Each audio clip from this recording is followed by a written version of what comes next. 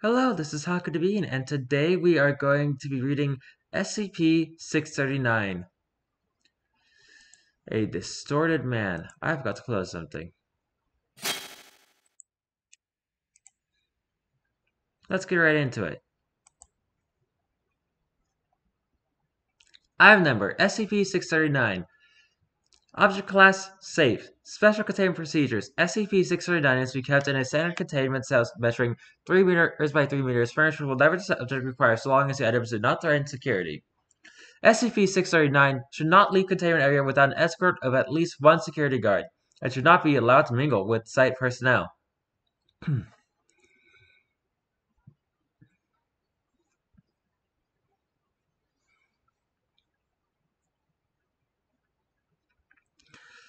Description SCP-609 is a Caucasian male approximately 1.6 meters in height and weighing 78 kilograms, age 24. SCP-609 is viewed simultaneously on all angles regardless of viewer's position. Being in front of the figure will have a view of his back, his front, back, sides, and so forth. Attempts to capture is any, any sort of photograph medium yields a heavily distorted figure.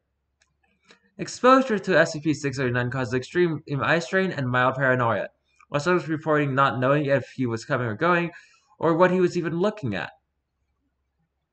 Effects do not persist once SCP-639 is removed.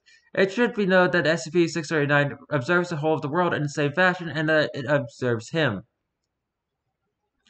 That is, all objects are apparently seen from all angles at once, at once, which seems to have caused extreme paranoia as well as a host of associated mental illnesses. SCP-639 was recovered in Redacted, Texas from the Redacted County Mental Hospital.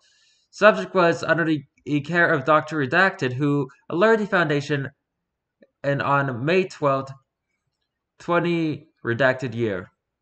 SCP-639 was picked up by agents redacted and redacted the guise of medical transfer. Class C amnestics were administered to the staff. SCP-609 was transferred to Site Redacted, where he is currently being kept.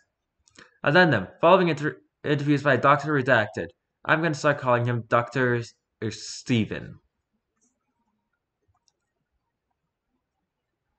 Interviewed. SCP-639. Interviewer. Dr. Steven. Forward. Initial interview Uh, with SCP-639. Dr. Steven interacts with SCP-639 and made use of an external speaker system to reduce visual stress.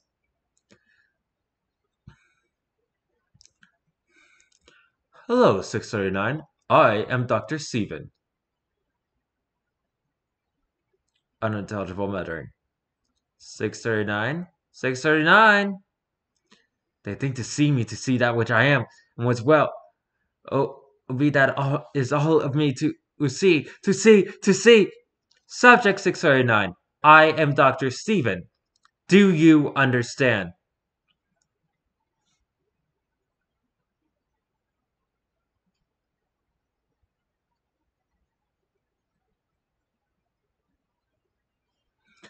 Where are you? Not above, not below, front or behind, neither to the left nor to the right, but straight along the path of righteousness. Where are you? Where? Where? Where? 639. I'd like to ask you some questions.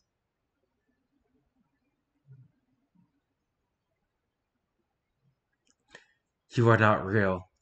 What do you... I see uh, uh, the world thinks that which is there all sides it's all that is and was and will be there I see you not oh uh, no oh you're not therefore you are not. Are you not another voice, new voice here with moral ears, no godly eyes? Six or nine. Which direction are you facing? SCP six thirty nine laughs and points. Due to his effect, this is less helpful than this is less than helpful.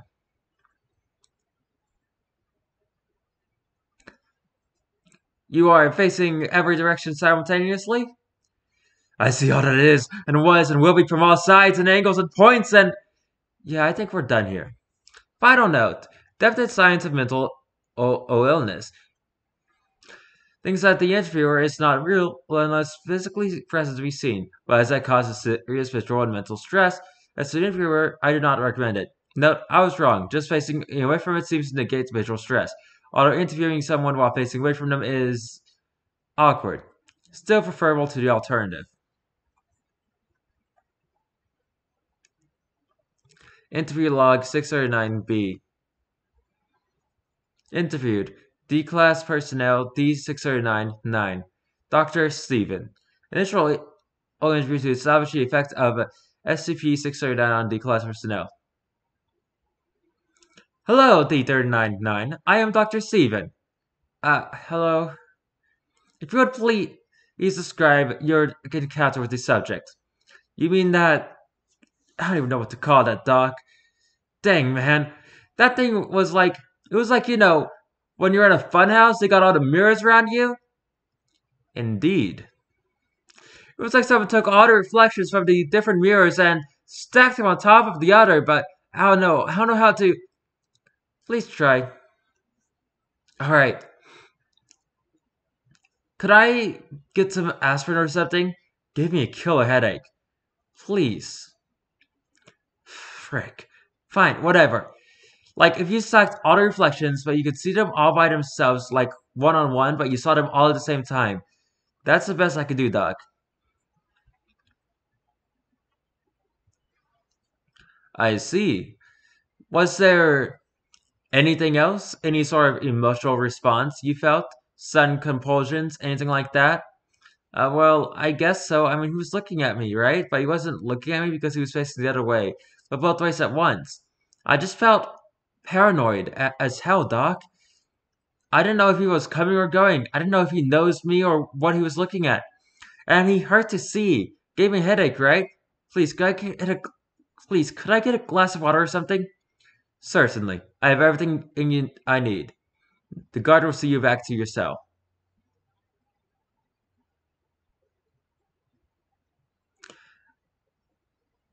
D699 begins to leave, but then pauses. Uh, there was one other thing. Yes? I'm not sure, but I think he was crying.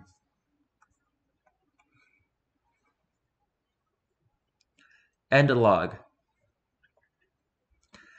D699 was kept in solitary confinement to determine whether or SCP-609 caused any sort of memetic or mental effect. None service or over the course of the quarantine, and the subject was terminated on schedule. So we're still going with that lie.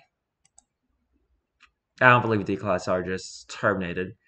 What a waste of a perfectly good test subject. Anyway. That was SCP-639, a very distorted person. If you like this video, please like on the video, comment down below, and subscribe to the channel. I have no idea what I'm going, going to be doing tomorrow, so until then, goodbye!